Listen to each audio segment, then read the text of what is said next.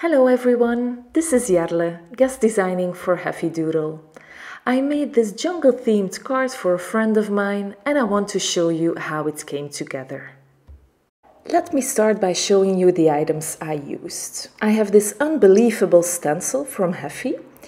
Then I also used the Chimply the Best stamp set with a few adorable monkeys and some fun sentiments.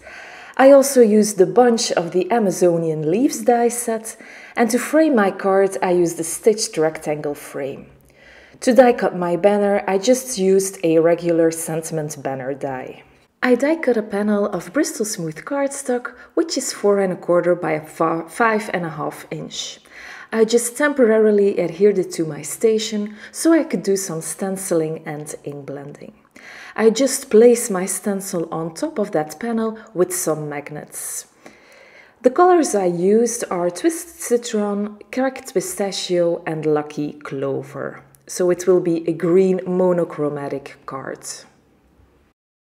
I always start with my lightest color and then blend to the medium and then to the darkest color. However, I want my darkest color to be in the middle of my card, so that's the Lucky Clover. So I actually go in with light at the top edge, then medium and then dark more to the middle of the card. And then I go back to medium and then back to light more towards the bottom edge of the panel. I always go over the different layers a couple of times just to get a very nice blend. Now, I have to say Bristol Smooth cardstock is a really, really nice cardstock for ink blending. So if you're having a hard time blending, you should definitely try out this cardstock. The stencil did hold on nicely with just the magnets. It's not a super intricate stencil, so it holds nicely to the panel without shifting or whatsoever. When I removed the stencil, I found that the background was a bit too stark white. So I just used the same Distress Oxide colors to go over the whole background. Now as you can see, I again used the Twisted Citron at the edges of the panel and the Lucky Clover in the middle. And now to blend those two together, I used the Cracked Pistachio. To add a little bit of interest, I splattered on some white gouache on the background. I took some paint on my station and added a little bit of water. Then I just tapped my paintbrush to get some fine splatters. It actually took me a while to get all the splatters on there. In fact, you see me here um, switching to a larger paintbrush and that also kind of helped. Um, I took some more white paint, then I added a little bit more water just to get all the splatters that I wanted to. Here you can see the finished background panel. I kind of like how this turned out in the end.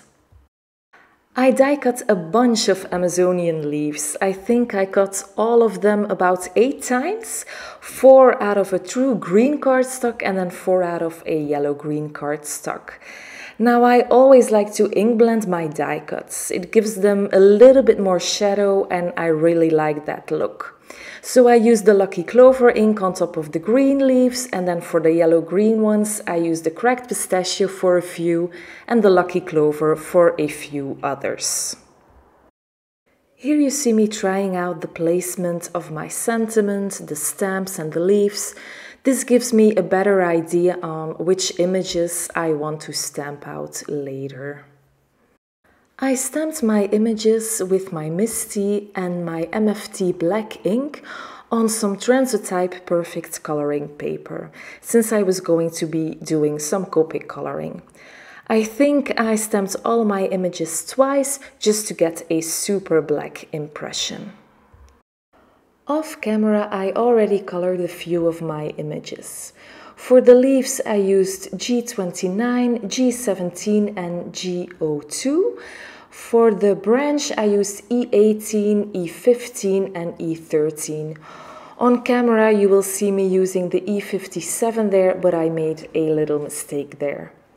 For the cute monkeys, I used E57, E55 and E53 and for their face I used E53, E51 and E50. When I'm doing Copic coloring, I start out with my darkest shade, then I blend it out with my medium shade and I blend that one out with my lightest shade. I repeat this process two times and this method always gives me the best results. I always like the blend that I get when I repeat it two times. So here you can see the finished coloring. Off camera I die cut four stitched frames and with some liquid glue I stacked them on top of each other. This gives the frame a little bit of height and adds dimension to the cards. You might already know that I'm a big, big fan of dimensional cards. So here you can see all four frames stacked on top of each other. Now onto the sentiment. I placed the panel of black cardstock in my MISTI and then prepped it with my anti-static powder tool so that the embossing powder would only stick where I wanted to.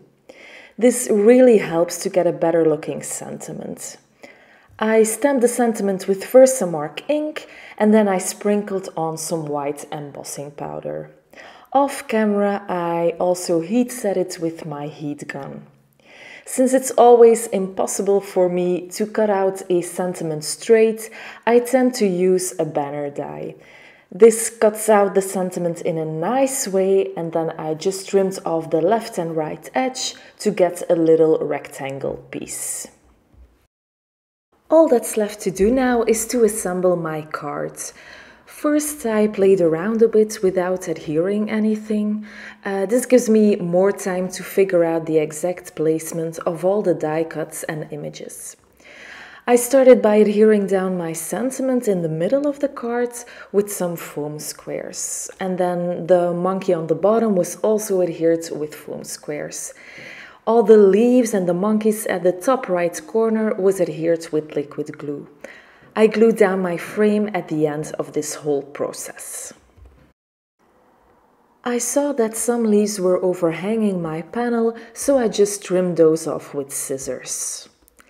Then I took out my ATG gun and placed my whole card panel onto a side-folded card base.